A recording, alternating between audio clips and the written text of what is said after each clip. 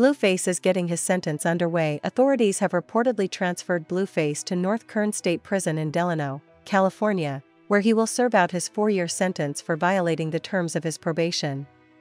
He had been behind bars at Los Angeles Men's Central Jail since his initial January arrest.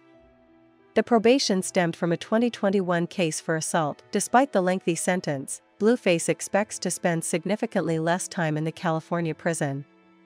Speaking with Gina Views and DJ Hed for a recent interview on their radio show, effective immediately, he explained, I got a year credit, so that goes down to three years.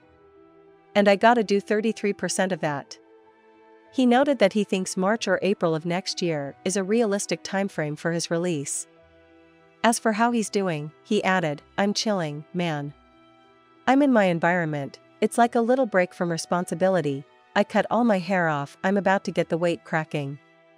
I'm like 180 right now, I've never been 180 before.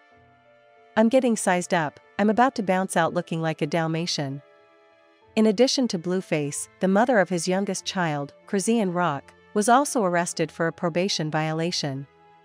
Despite being able to get out of jail while awaiting her next court date on September 27, Rock ended up missing her son's first birthday.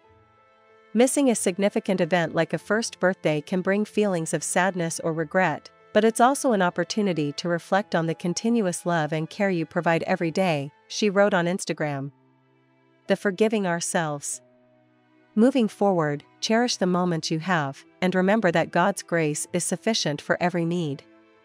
Blueface moves to North Kern State Prison. Check out a picture of Blueface mugshot that is circulating on social media below.